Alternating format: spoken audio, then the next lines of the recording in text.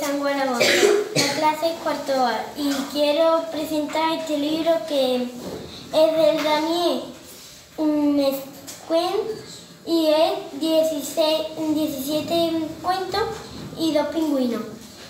El cuento va de dos pingüinos que, va, que van de cuento en cuento buscando una familia y la encuentran.